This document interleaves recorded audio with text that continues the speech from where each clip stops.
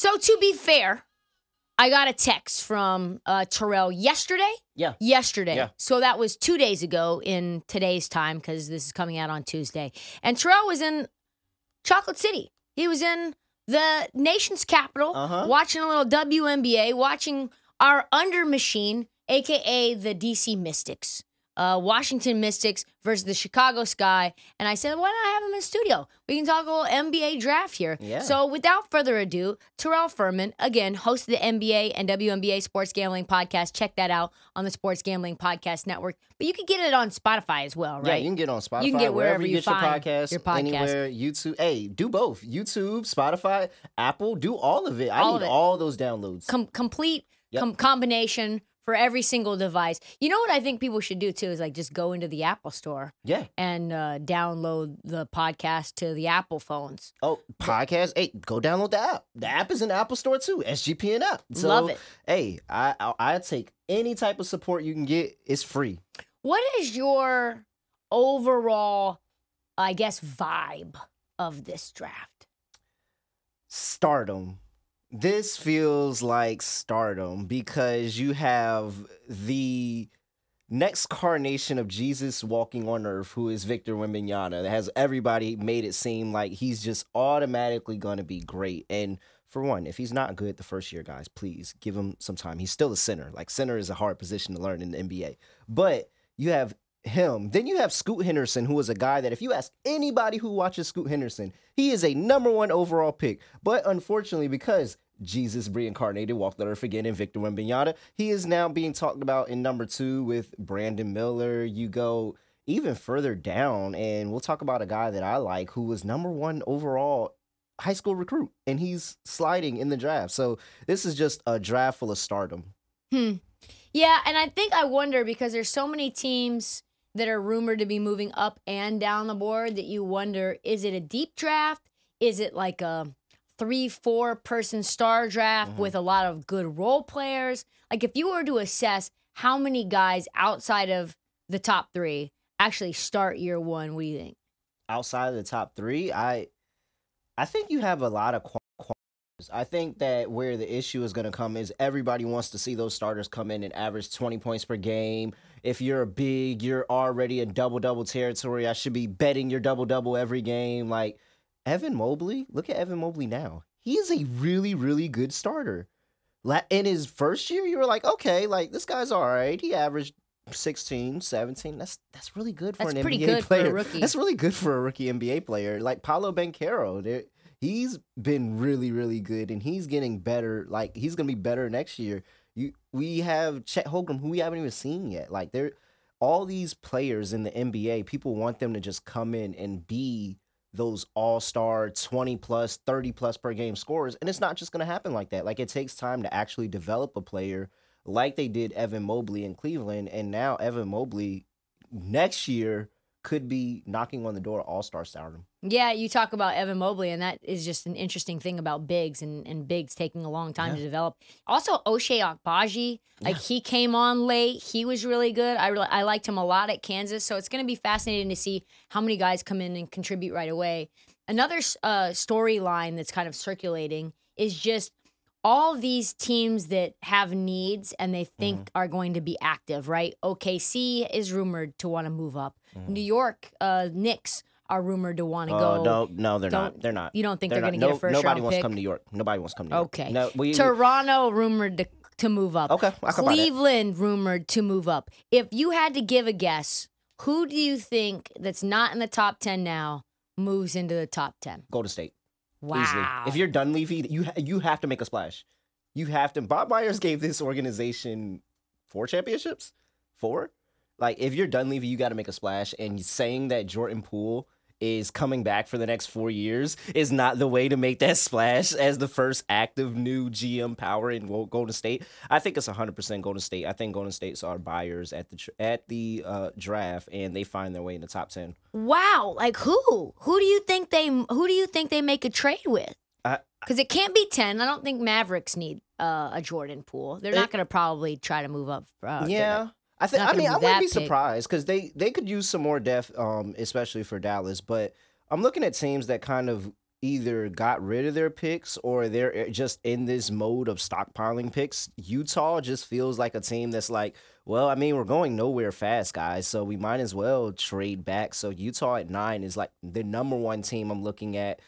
Washington didn't get a first round pick for Bradley Beal. We're gonna talk about that, but like That would be didn't a- interesting. so Washington could could move back, or Washington could just be a buyer and get somebody really good there. But Washington can move back. It's a couple of teams up there that I think would move back with a Golden State, and Golden State take a Derek Lively the second. You know, probably the best defensive big in the draft class. So You really like Derek Lively? That hold on, let me let me wait on that one Mm-hmm. because I think an interesting trade could be Wizards trade Chris Paul for and whatever Chris Paul and the eight pick Mhm. for Jordan Poole and whatever Yeah. Golden State has in Yeah, their I first round. I what are they? think- 17, 18? I think, and Chris Paul said he wants to go to a contender and still compete. 19. So, you know, he'll, that's a, definitely in the realm possibility. I think Chris Paul makes everything fun because you autom like he he's worth some type of value. Everybody wants to devalue Chris Paul, and I completely understand it, but he's worth some type of value. So that with a first round pick is enticing to get a player that can come into your organization and play now. So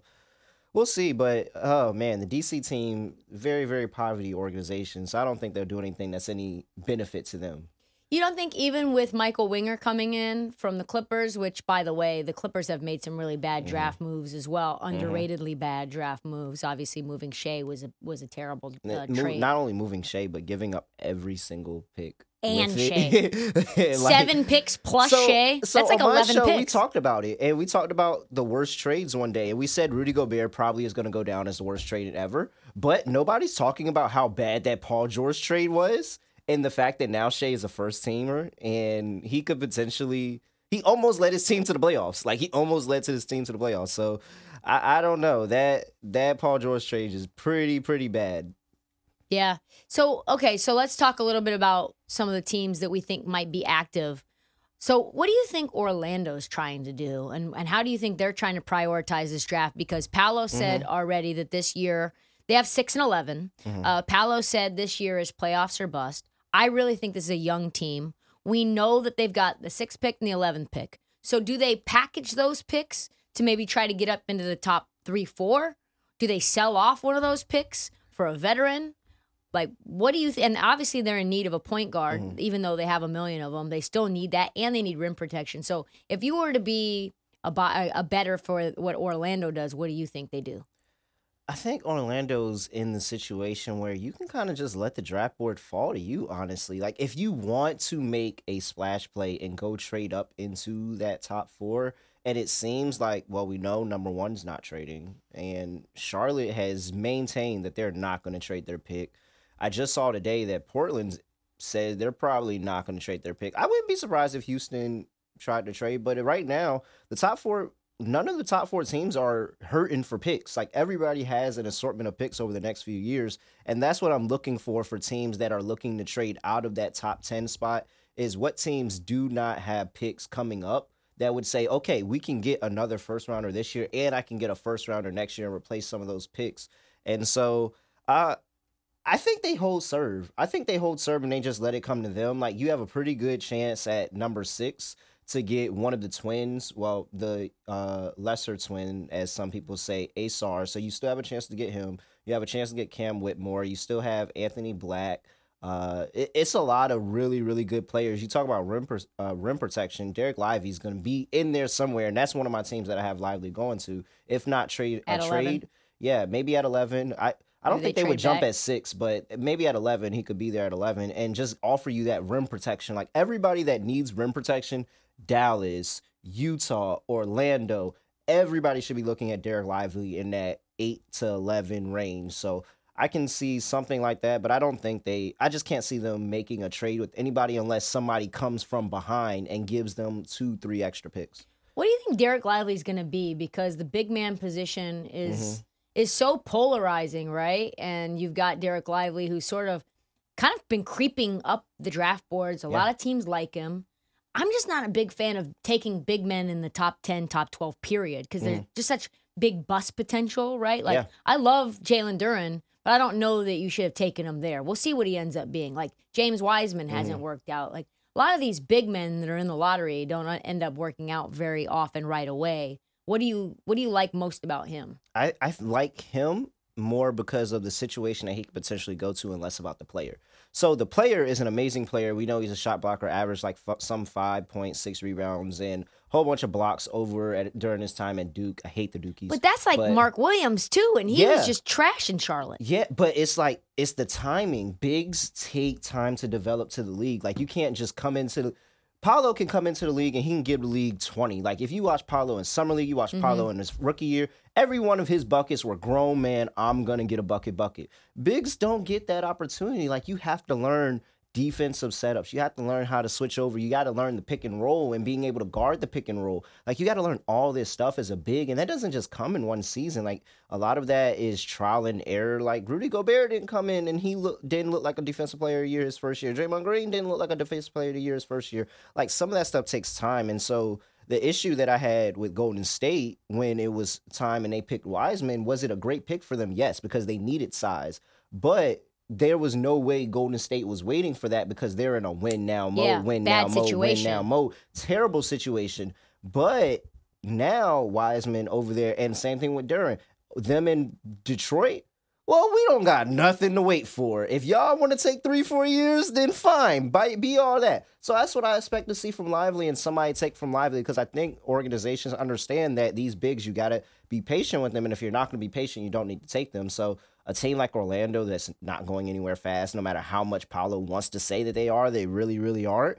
Okay, they can take and invest more into them. A Golden State that is literally looks like they're kind of retooling things. We just saw Draymond may potentially not be coming back. Is that news? Is that not news? We'll talk about it. But I mean, Derek Lively could be good there in a Golden State team that says, hey, we need a year or two to reset this thing. But just expecting him to come in and be this ultimate dominant defensive thing, I don't think it's going to happen. Why do you think Walker Kessler developed so fast? I think it's because he's able his offensive game and he was able to stretch the floor in how he was with that Utah Jazz team where it was go go go go. He was a big that can run the floor. He was a big that uh, in Ar- Auburn he was able to be able more on the offensive side and less about defense. Like we didn't really think of Walker Kessler as this big defensive shot blocking And big then- like a air yeah. like a Evan Mobley. No, it was just more of, hey, this is another guy that's going to be able to spread the floor with us. At the time, they thought they still had Rudy Gobert, so it was like, okay, Rudy Gobert anchors. We have this kind of big lineup, and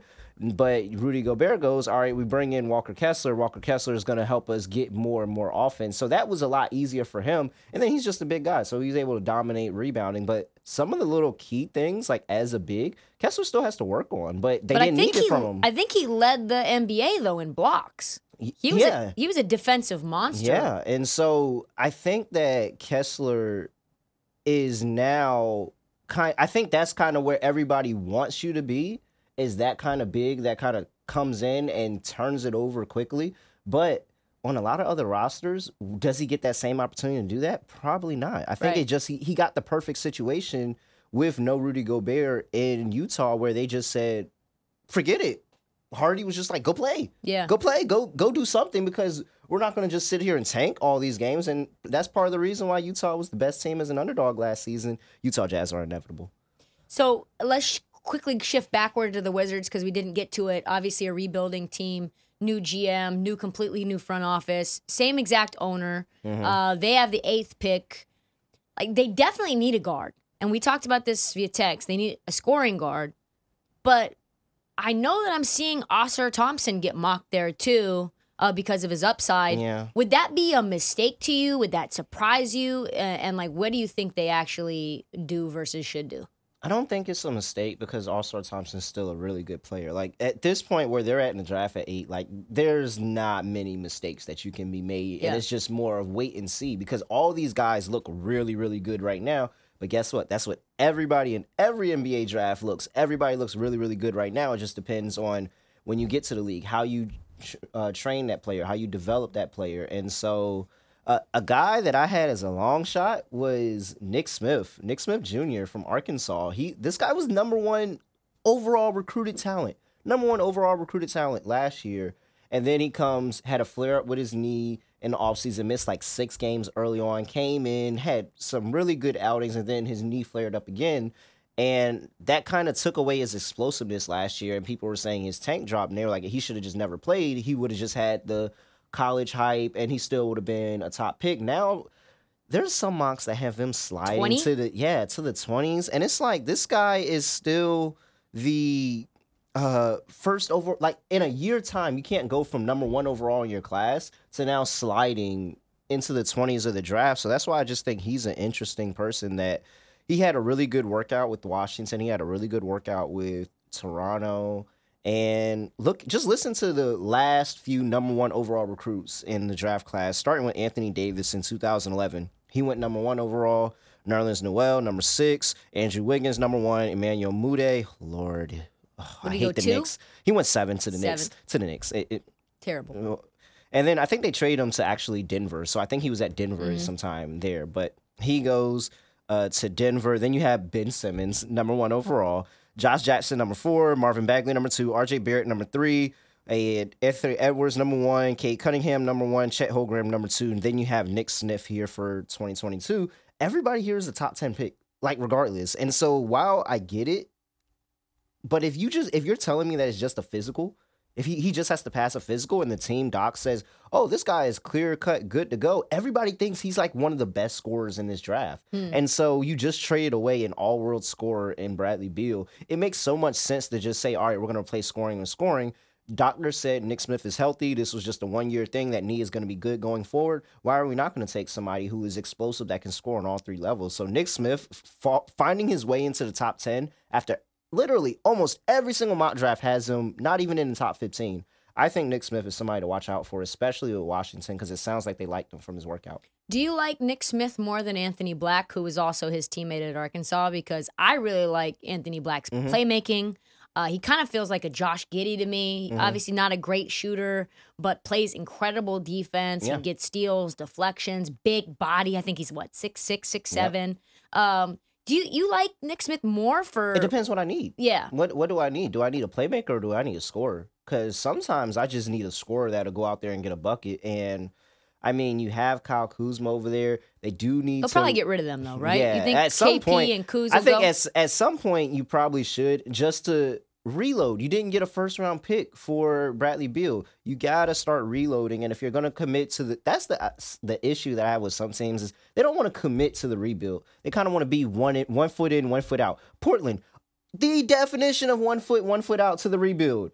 Are we in a rebuild? No, because we have Dame Lillard. Should we be in a rebuild? Absolutely. All these teams that are now trying to commit to the rebuild after the greatest prospect that everybody says since LeBron James is now gone is really, really crazy to me. But I think that it depends on what I'm looking for between those two. If I'm looking for somebody that's a pure scorer and I just need, I don't need you to do all these other aspects of the game. I don't really need you for defense. I feel like that I can coach up defense or I have a good defensive team overall. I just need somebody that in the last minute of the game that I can go to to get a bucket. I'm gonna go with Nick Smith because I, I think he if he develops right with the right staff, he could be one of those guys that can lead the league in scoring one day. yeah, like Bradley Beal did a Yeah. couple of years ago. And I think funny. they were a playing team. Hey, you know the Wizards should actually try to get a guy like Bradley Beal. They should see if he's on the market. Speaking of guards, uh, a guy who may not make it to 11, I think he's fascinating. He's really not discussed much. And I think it's because Kentucky guys just always fly under the radar. It's Calipari. crazy. Calipari really He makes guards. does sell these te- like these players short. Mhm. All of a sudden, you had a couple of twins, and uh, that were, I forget their twins' names, and Devin Booker was just sitting at, sitting there Mm-hmm. Yeah, as like the- Aaron Wiggins yeah, and Andrew Wiggins. yeah, Yep. both Wiggins and like Devin Booker's just sitting there as a fourth option, Mhm. right? You had uh, Karl-Anthony Towns. You had he like barely shot any threes with Yep. Kentucky. You had Immanuel Quickley, who like all of a sudden now he's a scoring machine. Tyrese Maxey Mhm. fell in the draft. Bam Adebayo slightly fell in the draft. All these guys are very, very good NBA players. Mm-hmm. So Cason Wallace, I'm fascinated to get your take on because a team like Utah could really use him. A team like Detroit, who needs Mm-hmm. a guard, even though they're fifth, probably that would be a reach. Team like the Rockets, team like the Rock uh, Raptors as well, mocked eight to fifteen. Yep. Top ten, not top ten, best fit. Dallas. Dallas. It tells me Dallas because I don't think Kyrie's staying, and I think they know. really? I, I, if Kyrie leave, even if Kyrie doesn't leave, they still need the backup guard depth. But I think I think Ky- there's a more than not chance that Kyrie decides not to stay with Dallas. And if you don't, then how Jason Kidd's run that offense with Jalen Brunson and Luka, with Kyrie. What about Jaden Hardy? Like uh, Jaden Hart, they don't they don't trust him. Yeah. They clearly don't trust him, and maybe it's because of the defensive side of the ball. But it, you remember when Kyrie first got there, and there was this stretch where it was either Kyrie playing or Luka playing, and then Josh Green was stepping up, Jaden Hardy was stepping up. But as soon as Luka and Kyrie were back in the lineup, Josh Hart's and Josh Green's minutes went down. Jaden Hardy didn't even see the floor. So. it- Casey it Wallace can play defense now. yeah, and so that's what I think that that's something really good for a Jason Kidd. If you sit here and say, "All right, we're not going to be able to retain Tyree," uh, Kyrie, it was very good experiment. We tried to make it work. It didn't work. Fine, we're moving on. Cason Wallace is a guy that I would love to have next to Luka that can also handle the ball. Like Mhm. there's so much importance of having two capable ball handlers in today's NBA. And you saw it with the Mavericks run to the Western Conference Finals the year prior with Jalen Brunson. And now look at Jalen Brunson. He went and got a bag and went to New York and played really, really well. It's because there's so much stock in having two point guards, two capable ball handlers that'll be able to keep the offense flowing and not get into trap situations, stuck situations, kind of get stagnant with the ball. So uh, I think that a sleeper pick for me is Dallas, but I can absolutely see a Utah saying no, we're not letting this guy go go past, especially with the Collin Sexton experiment seeming like it didn't work.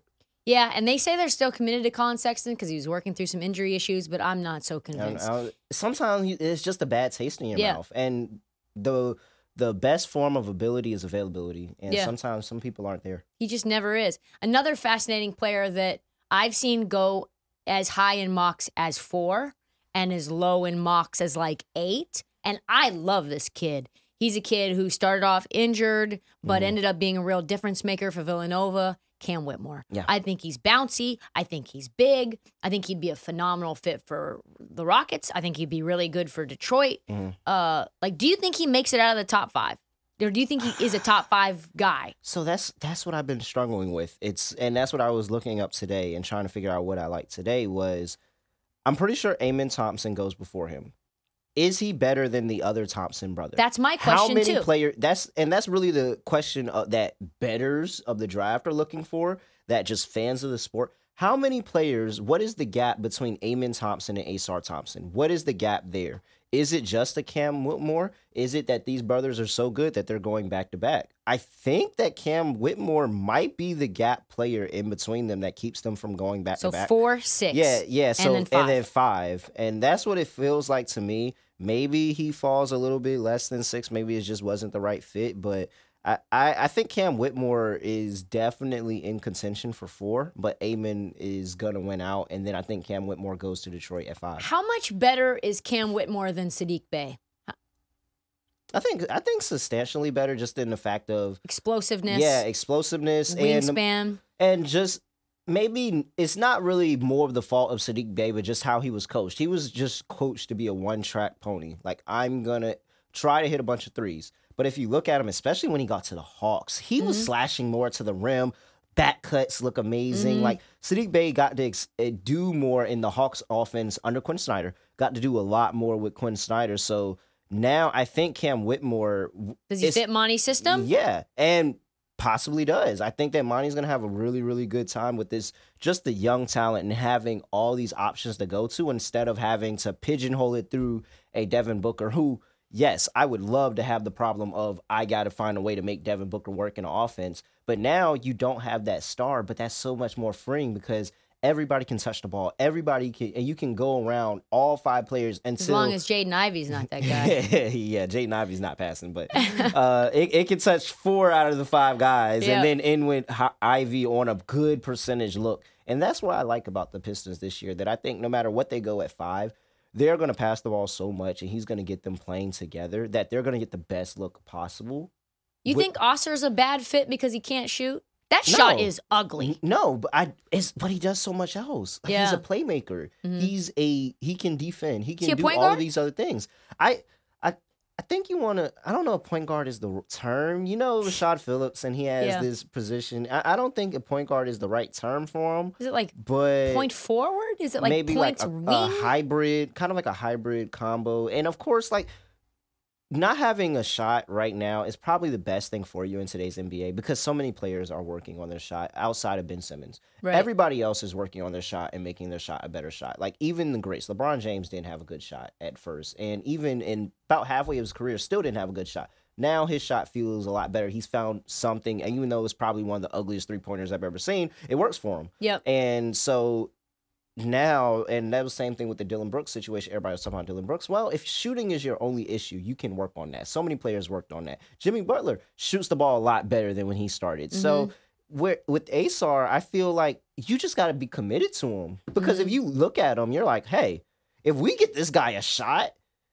he, He could could surpass insane. his brother. Yeah. That's the only thing that he could surpass his brother. So, and, and I think that's probably the reason why he didn't work on his shot as much is because, hey, if I'm playing with Amen every single team, I just get the ball to him and he go ahead and does it. I'm he, and that's why I like Ausar in the draft so much because looking of what he played, how he played with his brother for so long, he's so unselfish. Yep. such an unselfish player. And so if you put a bunch of guys that can score around him, uh, and that's why I'm really like I'm torn at five between him and Cam because insert him into that lineup with Detroit, and you put a Cade Cunningham who's going to have fun playing off the ball Yeah. with them, a Jaden Ivey who's always looking to score. You have the bigs down low that he can get the ball to, And he they can look handle. really good. Yes.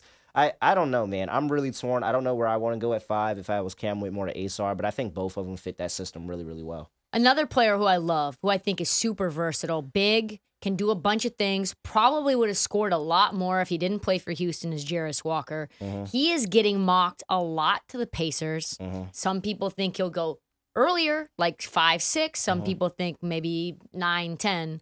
Uh, what do you think he ends up? Where do you think he ends up going? Where do you think his best fit is? I think the Pacers is a good fit, just defensively, and what he what he learned at Houston, what he's able to do at Houston. Again, Dallas, another good fit. That I I, I don't think Dallas. Everybody is mocking lively to Dallas. I think there's some Grady Dicks out there too to Dallas, but I, I don't think they Oh go my big. God, yeah, I, I don't know. I don't know, but That would uh, be that would be a killer for Nico Harrison if they don't get some defense. Yeah, and and that's what Or I'm a ball expecting. handler? I'm expecting like somebody, like somebody else outside of what everybody's saying. And a walk a Walker is somebody like that that could fall just because they say, "Hey, we're trying to score, score, score." The Pacers, like this is Rick Carlisle we're talking about. Yeah. Rick Carlisle doesn't care about defense. Rick Carlisle said, "I don't care if you're scoring 110 points. My team will score 120."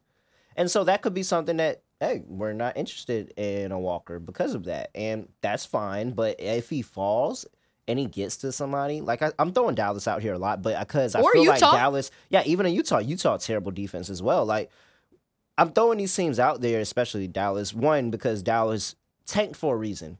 I think they put they wanted 10 for a reason. They already been planning this way back before the Knicks were even considered at taking their as taking their pick if it fell to 11 or anything like that. So I think they planned for this and they're going to make some type of splashy move. Everybody thinks it's a big. I'm not. You don't sure think they'll trade big. that pick? I, I I- I think they I they could like I think that there's so many things, especially with you just trading for Kyrie. Like you can get something back. Remember I talked about play teams that are trying to get something back. They very well could, but I just think Dallas is the team I'm watching out for. Where I think they're going to do something that nobody expected. Whether it's trading back, whether it's going and getting a player that somebody didn't expect, like a Walker or anybody else that we talked about today. Like I think Dallas is the biggest wild card because they just feel like we're playing with house money. We have Luka Doncic. Yeah. I'm I'm also curious about Grady Dick because boy oh boy will this matter where he goes. You know, Mm-hmm. the fit is going to be key. Very critical. I've seen him as high as being reached for by Orlando. Yeah. I've seen uh, at 6. I've seen him getting mocked in the 11th pick to Orlando at 6. falls. You think he falls? I think he falls. I don't know if everybody's. if Why is he so polarizing? I think it's. I think Is it the we- North American white boy thing? And, and it possibly could be. It possibly could be. Because it's be. like, he's not that but- athletic, but he's kind of sneaky athletic, which just means he's white. And I think Christian Braun just helped him out. Yeah. I think Christian Braun, if if he gets into the top ten, I think he definitely should be sending an invoice Christian Braun's way because now they saw what Christian Braun did in that playoff run, especially he in the can do more than Christian And he can. He is And a really it- elite shooter. and that's what it is. Like you're not just so if you're getting the toughness and you're getting everything you wanted about Christian Braun, you add somebody that can shoot. Movement think- shooter, too. Yeah, like oh man, I think everybody's gonna be looking for him. Do I? But is everybody going to take that chance? And, him just being that guy. The difference between Christian Braun and Grady Dick is that you have to kind of hide Grady Dick in your defense, and Yeah. you don't for Christian Braun. And it's the fact that Braun has low expectations. If Mm-hmm. you take Dick top 10, you're going to expect for him to be Tyler What you think, Hero he's in the 13? bubble. Goes You're gonna- 13, 14? Yeah, like back into the lottery. I don't think it's like he's not sliding. I'm not going to say like he goes all the way to the Lakers at 17 or anything like that. Like I Which think would be a steal. Yeah, hundred percent. But I think he's back end of the lottery there, and he's somewhere around that range. Not necessarily top Ochai ten. Agbaji range. Yeah, maybe maybe a second Orlando pick. So uh, you feel comfortable. Maybe you don't go Lively's way, or maybe you take Lively early because you think that Dick is going to fall to you at eleven. Fine, like I I think that's a possibility as well. But somebody with just a little able that says that hey, we can take this chance because all these teams up towards the top cannot afford another mess up. Yeah. Like there's jobs relying on getting this pick right this year because this is such a good draft.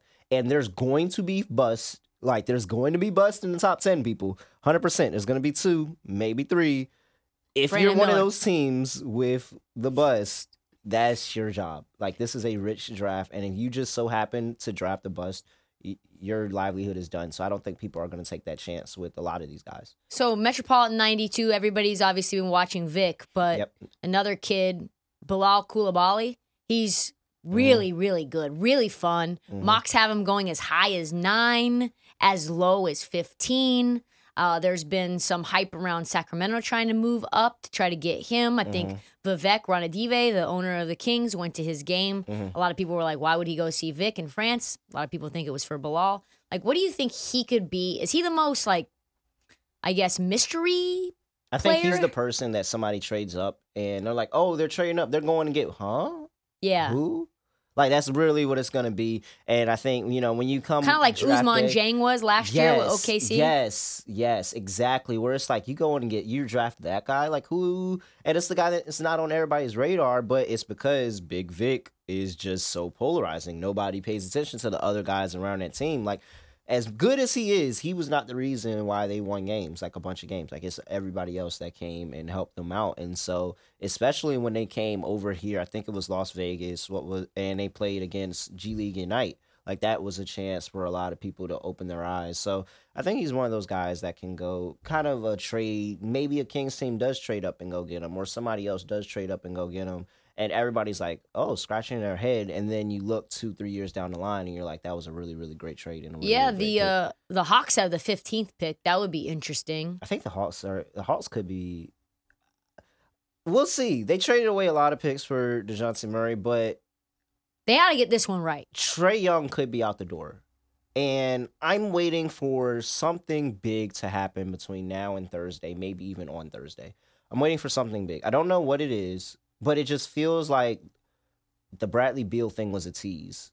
That was the tease move. Draymond Green not taking the op- his player option. That was a tease move, but it feels like something big is around the corner where you're going to have a star move for a pick and some team is going to buy into the youth movement or just changing that team around. And Quin Snyder, who one, the Hawks are not afraid to make changes because I don't think I can remember a coach coming in Middle of the mid-season. Yeah. coaching, like coaching, full on coaching mid season. Now he has an off season to kind of plan things out.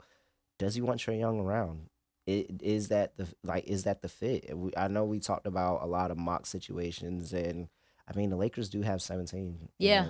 uh, seventeen is still a valuable pick in this draft. So could there be a situation where somebody anywhere says that, hey, we're going to take Trae Young and we'll give you one of our first round picks? You think Trae gonna- Young only gets one first round pick? I mean, it's gonna be one uh, one of many. Like he- they're Yeah. gonna get a haul for him, but a pick in this draft is hundred percent gonna come. So is it gonna be Trae Young? Uh, no, I'm not saying it's gonna be Trae Young, but I think there is a possibility that a star from some somebody somewhere moves prior to draft and gives somebody like a player like anybody we talked through through this lottery because this is a rich draft and I think the owners and the GMs and everybody in basketball sees it and says, "Hey, we may not have like a superstar, but we're going to have some really really good players that are going to help us compete for championships in the future." Yeah, and we saw with Denver role players, especially role players that can play defense, are so critical. If you've got two guys one obviously that's a big man that can pass like Jokic and Mhm. a secondary scorer like Jamal Murray. Mhm. What you need is to fill in the gaps. What's up with Taylor Hendricks? Like, what's up with him? I, I think he I think he's Because no one is talking about him, but he's mocked in every he's gonna top be ten. in the top ten. He's he's Yeah. gonna be in the top ten. is he and not the least talked about top ten player? It's either him or Walker. Yeah. I think it's either him or Walker. I think those are the two guys that people kind of like. I don't know what this guy looks like, but I heard he's a really good basketball player, so we're just gonna go ahead and go with that. But uh Hendricks is interesting because I think he kind of fits the mold, uh, and he's gonna be one of those guys that you're gonna take him in the top ten, and you're gonna understand that he's he might not be a starter for you, but he's gonna be a very very good bench piece. And I think he like that's why I'm like there's so much trade potential here because if you're a contender, like you want somebody in this draft just to fill out that bench. hmm Like imagine if Phoenix had some type of trade capital Yeah. and they're sitting there saying, "Man, we would we like a Taylor Hendricks. we yeah. we would like anybody to come play on the bench for us." Like there's so many Denver. I, so the funny thing about the parade with Denver is that Mike Malone was said lying. B is coming back. no, he's not though, right? But he's it, Bruce. If Bruce Brown went back, I would probably say that his age. I would never sign with his agent if Bruce Brown signed another deal with the Denver Nuggets. because the amount that Bruce Brown can get on the open market they is thought that this deal was a terrible double. one. Yes. They said this deal was a terrible deal and he should have never signed it. Now, it, hindsight looks amazing because he has a ring, and now he's gonna command so much. I don't know if Malone was, just, and if you, I, I was looking at Bruce Brown's reaction, he's like, looking like on. I like, I'm going to go get a bag. you like, can't pay me twelve yeah, million. I can be a starter on many other teams. Like so, Denver is another one that, and I was talking about you on uh uh the other show. Yeah, BetMGM BetMGM tonight. Night. Yes, I was talking to you about that. Like Denver is gonna need to reload that defense position. So, would it be surprising if Denver's finds some some type of capital and says, I know that during the finals they had a swap with OKC and they and they did a pick swap with OKC or something like that. Like Denver could move up and be trying to go on to the next level and saying, "Hey, Yeah, we're going to take one of these two one of these yeah. top 15 guys and we're going to make them our six man, You seven give man that OKC pick, you give your pick, and you try Go to move up into and the move top up. fifteen. Yeah, I am curious though. Also, uh, I like Jalen Hood-Schifino a lot. Mhm. He's kind of a, a kid who could be like somewhere in the like eighteen to twenty. I've seen him as going as high as ten, which is kind of Mhm. crazy. I don't think that's gonna No. happen. Um, but he's six six. He can play good defense. He can do a bunch of different things. High IQ. Does a lot of interesting uh, training and conditioning that shows me that he cares about his body mechanics, like Mhm. his hip mobility is insane, which I think is really important for basketball players at this Mhm. next level with this modern NBA. Like, where do you think he goes?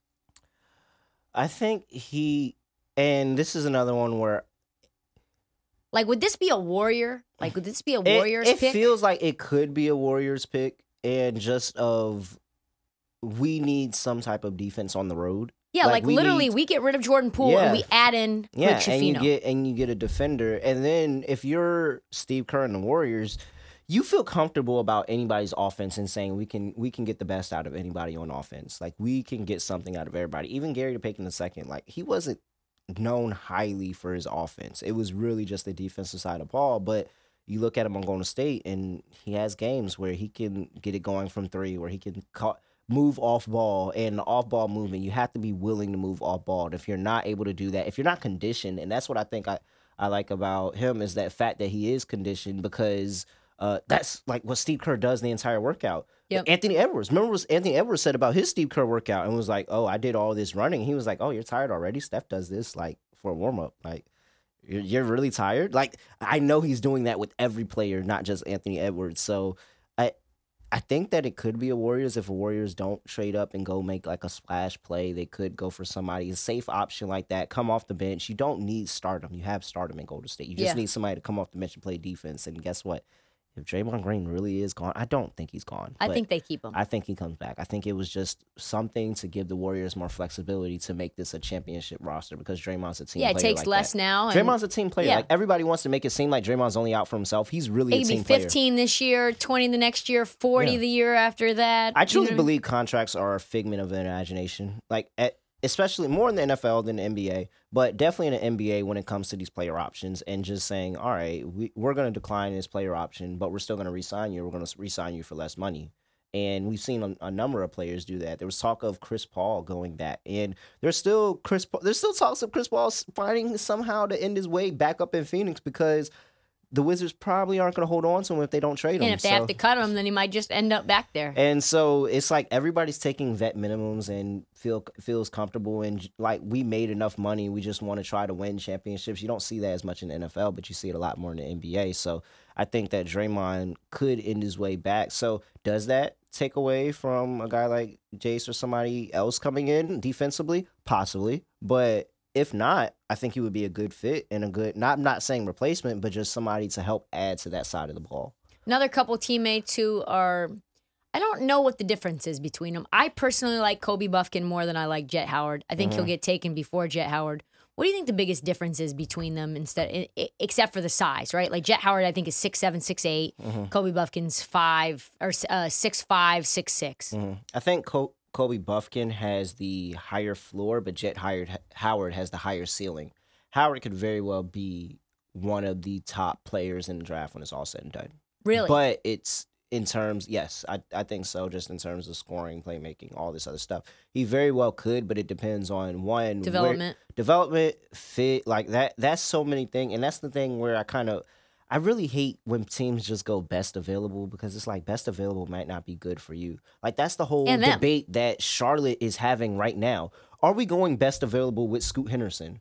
Or are we taking the best fit with Brandon Miller? Is the gap large between them? Absolutely not. But Brandon Miller is clearly a better fit for them with LaMelo handling the ball, but Scoot Henderson could be generational. And I ultimately I think that they make the wrong mistake and they go with Scoot instead of Miller while I do think, I again, I think Scoot is the better player, but is he the better player for Charlotte? May not be. Question so, that I have for you though, following up on that, is if you're Charlotte, what can you get for Lamelo right now on the open market? Oh, you could get the house, moon, stars, whatever you want. But you can't for the third overall, well, for the no, second overall yeah. pick. So what you could do is just take Scoot and then you trade Lamelo. Yeah. You have them play together. And then when you need to, you move LaMelo for four first round picks. Especially if you don't players. think LaMelo is going to resign. I think that's yeah. like the conversation that teams are having. And that was the conversation when they f- first drafted him. Like, is LaMelo, is this just a one rookie contract pony? And LaMelo dips off to a larger market, like possibly. So and that's ultimately what I think kind of happens here. I think it is a situation, and we're talking long term. Like there's some dynasty basketball players that that are uh, that are listening and like, oh, I'm loving this because I would love to see Lamelo move on to a bigger market, a different team. But like, I think that's ultimately the conversation Charlotte is having. What's our chances of retaining Melo? Because while we do get the incentives of max supermax contracts for staying with your team, original team, but if he is on the move Scoot is a very good replacement for when we don't have him. One, what is Lamelo's availability? Again, best ability is availability, and he may not be there. So Scoot could be that for them as well. Or do you just buy in all in on Lamelo being a Charlotte Hornet? If you're buying all in on that, you go Brandon Miller. I know we kind of got on a tangent and talking about these two, but like that is just the it just there's I don't remember last time that such a big decision has been made at two. Normally it's just plug and play, go with it. Ja Morant easy. Like you're gonna you're taking Ja Morant. You're not questioning RJ Barrett. Like I it's not one of those situations. You really got to think through this. Is LaMelo a Hornet for long term? If no, you're going Scoot. If so, you're going Brandon Miller. All right. So outside of uh, players outside of the top three, and who do you think? Well, outside of the, who do you think is the biggest riser in Nick this Smith. draft besides Nick, Nick Smith. Smith. besides Nick Smith. I'm sorry. I'm I'm also So we're going to take Smith. him off. yes. Who do you think is the biggest surprise fall and rise outside of Nick Smith? The biggest fall, I think, is I think it's potentially Grady Dick just because I don't I don't know if teams are 100% bought into making it work instead of just like they like there's so many teams that just want to kind of plug and play. I don't think he's a plug and play. I think it's something that you have to make it work and understand he probably is going to come off the bench for you for a few years. Uh the biggest riser hmm I don't know if I want to go with Lively because I don't know if I. But if I think you're towards the back end of the lottery and I can see you, like if Orlando sat here and took him at six, I would not be surprised. Really? I, I wouldn't, and it's just because, like, I think that Rudy Gobert just put a bad taste in people's mouth about the shot blocking big, but that is so paramount when you just think about what happened in the Boston series where everybody was getting to the rim and it didn't matter. When you look at now, you have Jokic, who you need somebody to guard him, and at least, at the very least, you have Lively, who can actually get a hand in his face, unlike everybody else who kind of just puts a hand up and Jokic is like, Yeah, can't see him. "Oh, I, I I didn't know somebody was guarding me." That's what it looked like in the NBA. Finals. And so I think Jokic is, and we talk about people that owe people checks. Lively probably is going to owe Jokic a check because that NBA Finals is fresh. And for me, a lot of this stuff is less about basketball, more about narratives. And so if there's a team, and I, I do think is a Golden State is a contender, but there's a number of contenders that can use rim protection. And you Memphis is a team nobody's talking about right now that they've drafted really, really well in the draft. I don't think it's out of the realm of possibility that they say, all right, we're moving up this year to go get somebody because Steven Adams wasn't available when we needed him. And, you know, we need more defense. And we saw that that was really the reason why we lost move to the young, Lakers. pi- yeah, move their pick, Yeah. moves a couple of players, and now you all Easy like that. You have so much good young talent that is Yep. perfectly fine. They drafted so well that Memphis is a 10 deep team that people don't realize. Like they have, and even, I mean, their G League team won the championship with Right. Lofton. And so I think that uh, Memphis is a team that contender. Like, like Lively just gives me, you know, what everybody wanted Wiseman to be on the defensive end, not the offensive end, but the defensive end. And if you're sitting here telling me that I have somebody that can potentially either now or maybe in the next year or even the next year after that neutralize a Joel Embiid, neutralize a Giannis, neutralize a Jokic, that is invaluable. And so I can I can see Lively rising as far as five, as six. I think truly as far as six, I can see him getting up there. But I can also see him falling to the 12, 13 range. So it's just like, will these teams decide that I'm going to trade for a shot blocking big? And that would not be the, a surprise to me at all. Last question before we let you run: Is Zion a member of the New Orleans Pelicans on Friday? Yes. Really? He he's still there on Friday. Does he finish the season? That is something to talk about. But I think at the very least, we get him to the season. He gets there to the season. And then as the season goes on, they may be like, all right, we're done with this. We're not doing this experiment anymore. But on Friday, he's he's still he's still a Pelican. That's Terrell Furman, host of the NBA and WNBA Sports Gambling Podcast on the Sports Gambling Podcast Network. Give him a follow on Twitter. His picks on WNBA are some of the best that I've ever seen. And I mean this in a year where everyone is getting just straight murdered. It is just lovely for you. Mhm. Uh, you can find him at at really rel uh, underscore on Twitter. And uh, do One you have anything else to plug? Two underscores. Two underscores. Yeah, so two underscores. at really rel r e l Yeah, the guy that has two one underscore. underscore doesn't tweet at all, and so if you follow him, you're going to be very, very mistaken. A lot of clips up there. A lot of takes up there. Definitely follow his podcast. Thanks so much for coming on. Hey, thank you, I appreciate it. It was Super fun. insightful.